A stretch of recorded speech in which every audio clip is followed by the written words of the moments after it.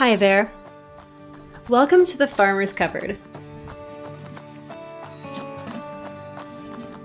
Today I'm going to show you how we collect our backyard maple and walnut sap and boil it all down and then how we turn it into delicious maple and walnut syrup.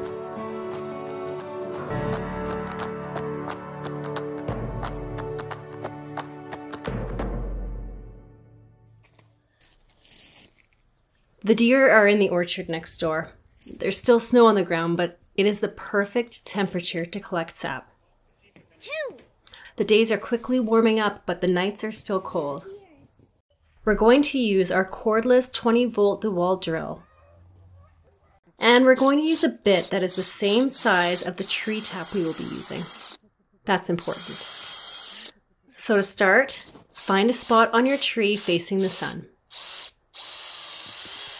Drill slightly upright into the tree. We are tapping several trees today. These are black walnuts to start, but you will see walnut and maple trees throughout the video. Look, this one's already got Oh, sap. get out of here. You'll know if it's the right time of year if you instantly see sap running after you drill the hole. Now we are going to fit our tap or spile into the hole we drilled. Use something to tap it into place. It's a bit twisted.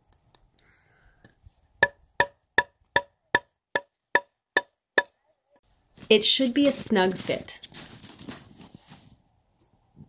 Other kinds of sap collecting devices might look like a rubber tube coming down from the spile or the tap down to a bucket on the ground.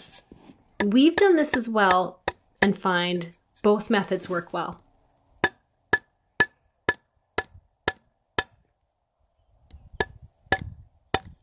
It should look something like this when you're done. With these spiles or taps, though, the hook underneath them is for the buckets which hang off of them. The lid goes loosely on top just to keep debris from falling into the bucket.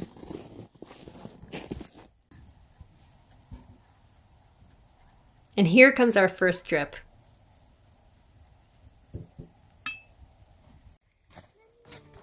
Let's tap some more trees.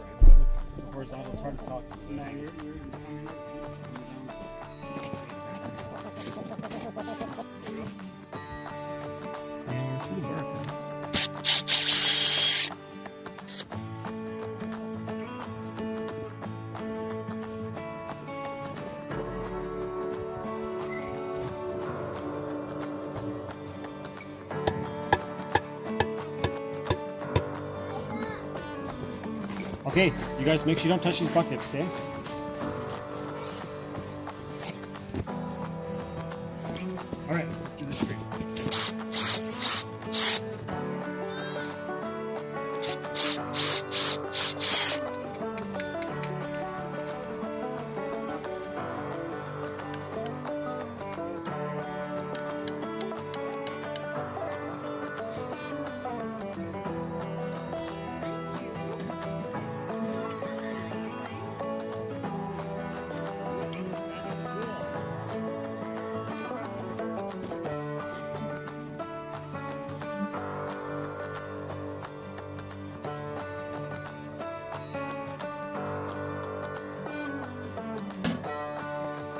Okay, you can tell from the snow melting now that we went into some pretty warm spring temperatures really quickly.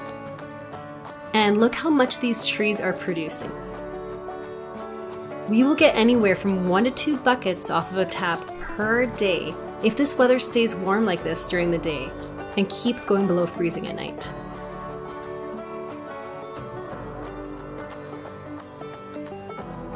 We collect the sap daily and keep it stored in food safe containers in a cold space until it's time to boil.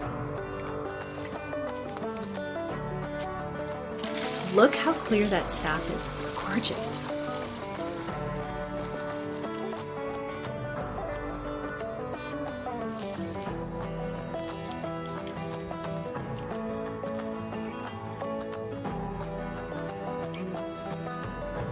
Neighbors said we could tap their trees too, so we'll be sure to bring them all some syrup when we're done.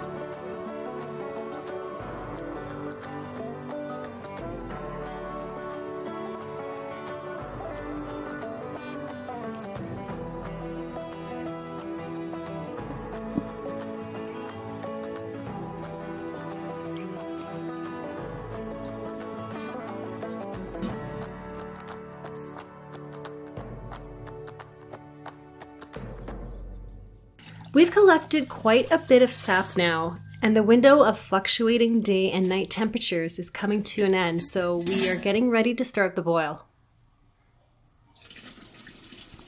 Now you could technically do this in your house, but it has to boil for so long that your walls would be totally dripping.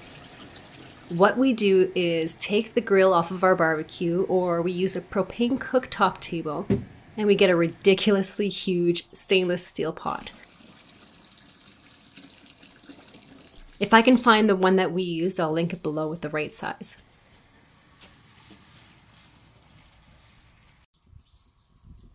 The foam at the top is normal. We will discard that at the end.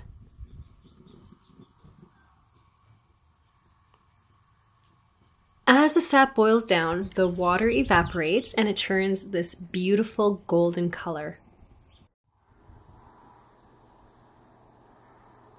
It takes a very long time to boil sap down like this. And this time here, we went right into the night with this batch.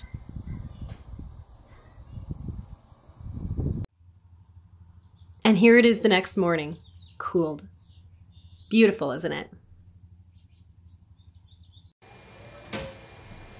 I decided to bring it in for one final boil inside the house on our stove. And because we're beekeepers, we had to check the sugar content of the syrup batch with our refractometer, which we normally use to check our honey.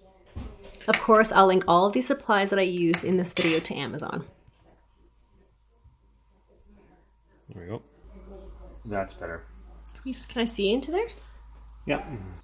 Okay. It's possible to. It is. Put it right up against it. Down. Right there. So So how do you know where it is? it's at. It's the blue line.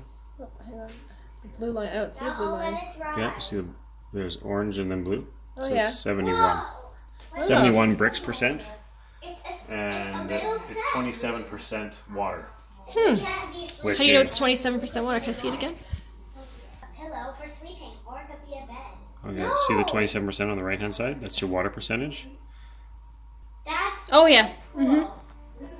So it's 27 percent water, and it's about. I gotta, 71. push it. Mommy, I need for And that's it. We just mason jar ours and keep them in the refrigerator. And if you're a supporter of small backyard hobby farmers like us, please give us a like and a subscribe or leave us any questions or comments and um, I'll be sure to answer them. Thanks so much. Hope to see you soon.